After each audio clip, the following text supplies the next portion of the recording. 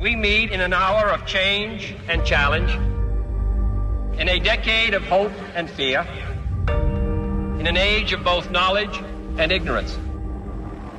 The greater our knowledge increases, the greater our ignorance unfolds. For the eyes of the world now look into space, to the moon, and to the planets beyond.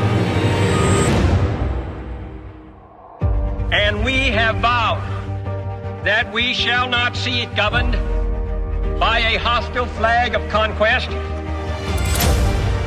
but by a banner of freedom and peace and understanding.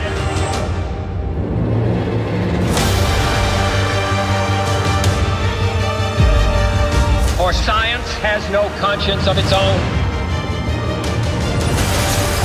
Whether it will become a force for good or ill depends on man.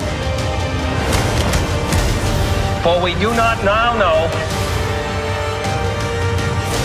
what benefits await us. Its hazards are hostile to us all.